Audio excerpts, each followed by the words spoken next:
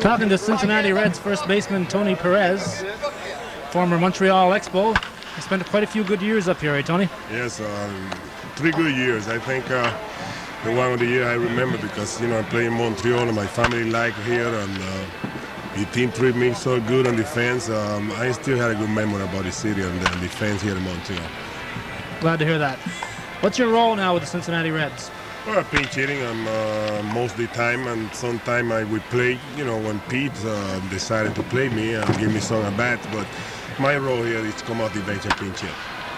What's it like playing for a former teammate like that? Is it tough playing a man you used to playing for a man you used to play with?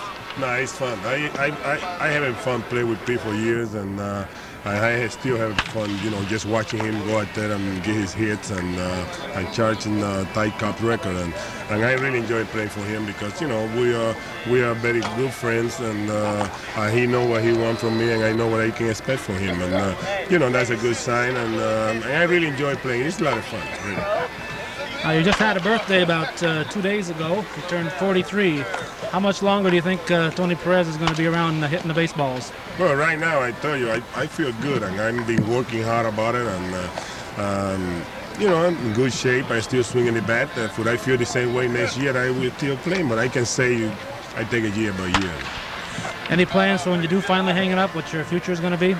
Well, I'm thinking about was staying baseball. You know, I owe a lot to baseball, and, uh, and I think um, I, I knew enough to, to help some, some young players, and I might stay in the, in the game.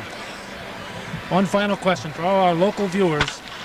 You had one of the most famous commercials in the area when you were up here. Yep. Would you uh, repeat that line if you remember what it was? Remember? I remember, but I think I one of the one of the line is uh, hit a home run every time you come out to bat. You know. But the final line was uh, you didn't have any hassles there, the Dorian suit.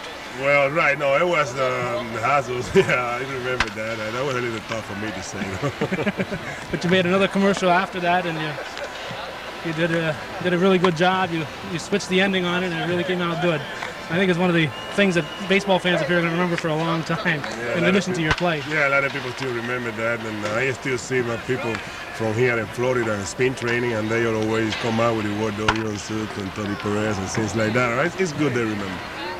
Very good. Thanks for talking to us, Tony. Good Thank luck. In, good luck in '85.